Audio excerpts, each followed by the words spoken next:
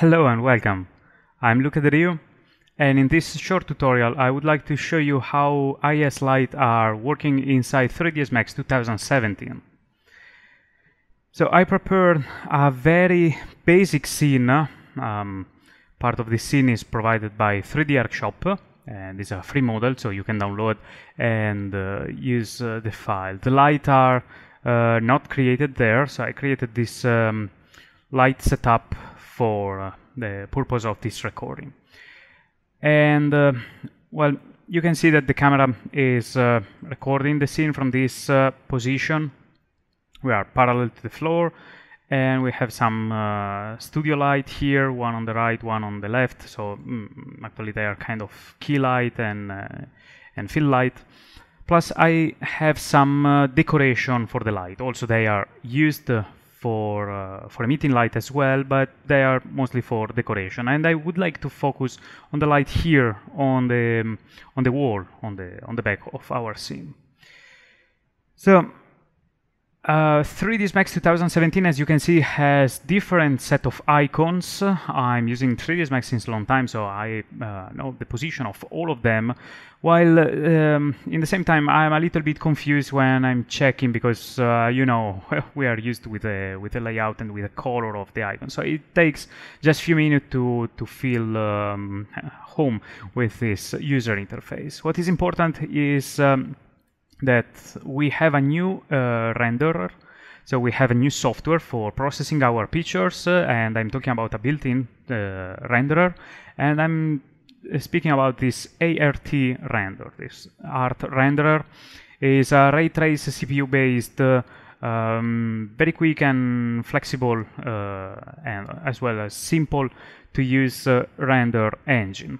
If you click here, you can notice that Mental and iRay they uh, they are not present in the list. It's just they got uh, uh, kicked out from the installer, so you can install them as a kind of third-party um, software. And of course, you can install V-Ray, Maxwell Render, uh, Corona Renderer, and so on. So you can have the benefit of all the uh, renderer engine as usual.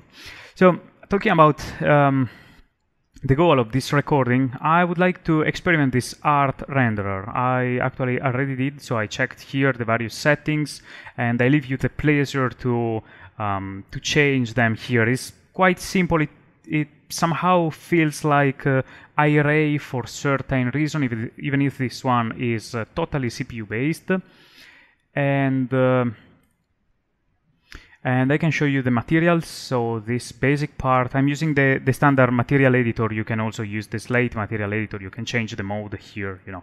And in the first material, I'm using the Autodesk generic physical material. I want to show you because this is something new. So if you select here, in the materials, you can find the scanline material and the general. So now we have this um, generic purpose um, material where there is the physical material.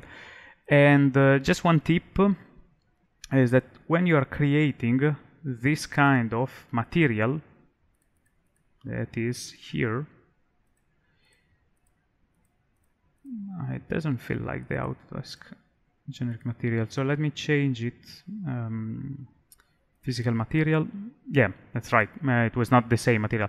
Um, it's even better. So I can show you uh, what you should be aware of. The when you create this material by default the user interface uh, again um, is something that I invite you to explore.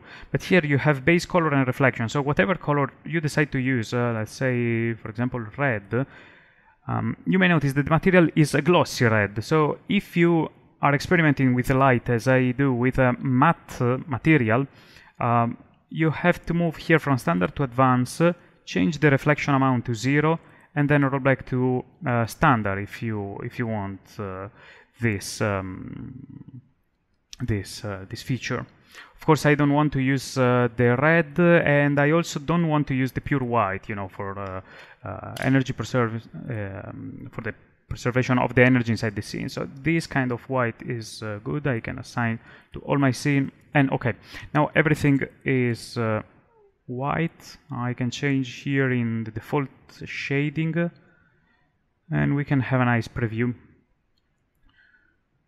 I have to say that is very very fast and very quick to, to process the images. Uh, of course, this is not the the, the final image. Um, I need to start my render to see something. So very quickly, here I was experimenting before, and uh, this is not the best render of my life. It's just something that I'm doing here to to introduce uh, this uh, this IES light. So let's talk about the IES light. The IES light is um, um, light created, or better, emitted by this uh, photometric light. You can find them here in the photometric. You may notice that we have now target light, free light, and sun positioner. That is something new and introduced in this 2017 version of 3ds Max. So in the target light, I took my time to place the lights inside the scene, and then from the modify here, I I'm going to change the various settings. So what is important about the this photometric IES light is the distribution web, the photometric uh, web. Uh, so how this light is, uh, how this energy is pushed out from the light emitter. And um, here is the, the point. You need to use an external file. So I produced a couple of uh, IES lights and you can find here the wide and the narrow so they are two different files that uh, as you may see they are .ies so they are real photometric light and uh, they are imported. So if I want the narrow as uh, the name suggests this very narrow cone if I click here and I change with my wide light you can find here a preview on how it's going to look. And you see that the the web is a little bit different. It's wider in this position. So wide and I roll back to my narrow one. Um, these uh, files, well, they can be downloaded for free from internet. You just need to search for them, and uh, usually the um, fixture manufacturer they are uh, providing IES uh, uh, files, photometric file for for your images. I use this software, Real IES, that is kind of comfortable because uh, if you need a very narrow light, you can design, you can really craft your your light. So if it's going to be narrow, it's something like this. Uh, if, if it's something very wide, it's something maybe like this. Or I can have something in between. So this is not used uh, to have, um, um, let's say, real manufactured light. So I'm not producing a light like a Philips light, for example.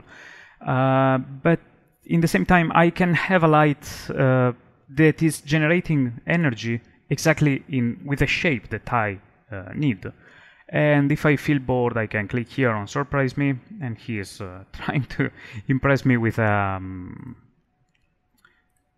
with a random preset. I also I noticed that here 90 degrees is not pushing too high the intensity, so I don't risk to have a you know this 90 degree light. I suppose is 89 degrees uh, too strong. Also, we have the advanced user interface where uh, we can change uh, the lumen flux for, for example, 750 lumens. Um, the power is not so interesting as feature. And uh, here we have information about the candles and the lux according to the distance of the light. This is kind of uh, advanced uh, and uh, personally I'm not using so much this one because I'm um, creating my IES light, I'm firing my render and if the image is too strong I change here the lumen directly inside 3ds Max so that's not a problem. When I decide to save here I can save my IES light, he's going to save on the desktop, I click select and uh, well as every software he's going to save the light here with a real IES. So this is the software in use. When I have my lights here, just a couple of uh, words about well, if I'm able to select this light. Okay. So on the lights, I have area shadows. You can decide to use uh, different uh, shadow generator, I quite, I'm quite comfortable with Area Shadow or V-Ray Shadow. Personally, I mostly use uh, V-Ray in my productions, but um, well, you know, the user interface somehow is the same, so you have to pick here V-Ray uh, shadows or shadow map. And I am I'm emitting the light from a disk. I prefer the disk instead of the point. You know, the point is something, uh, um, well, very small, while the disk is something that has um, a small area, it's like a real spotlight, and this disk is going to affect um, the shape of our emitter as well of the uh, shadows that we are creating. So what I'm trying to say is that these shadows here um, under the, um, the table on the floor, they're going to be soft and smooth. So this is, uh, well, this is it. This is how to um, assign IES profiles to your photometric light inside 3ds Max 2017. Thank you for watching.